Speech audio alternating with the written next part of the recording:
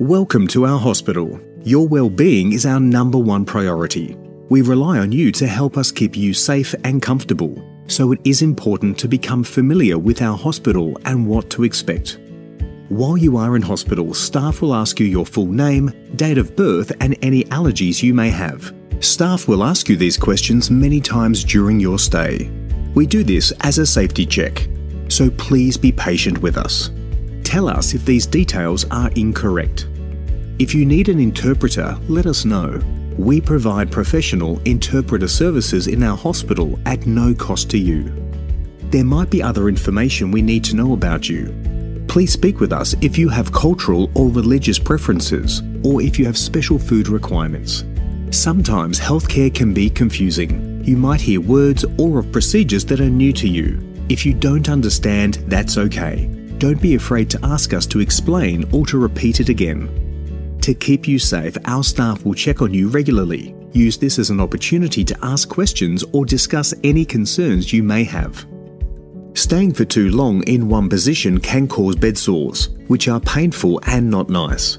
If you can, try to change your position in bed and call us if you are uncomfortable.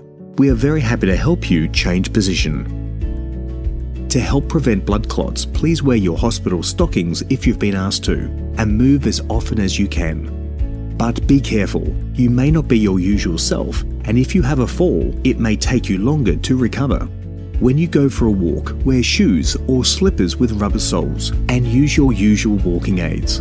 If you need help to get out of bed, to reach something, or to go to the bathroom, please use the buzzer to ask the nurses for help.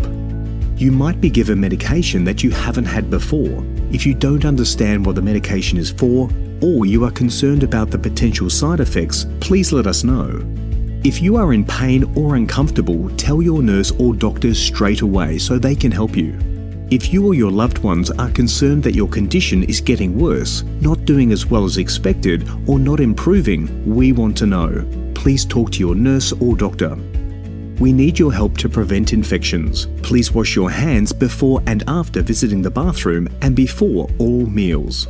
Please remind your visitors and staff to wash their hands too. When it is time to go home, your doctor or nurse will talk to you about your hospital discharge. It is important to know what to do when you get home, so ask as many questions as you like. We can also give you written information and talk to your family or carer. If you have feedback or want to make a complaint, speak to a staff member or ask for the Consumer Liaison Service contact details. If you need any other help to make your hospital stay comfortable and safe, please let us know.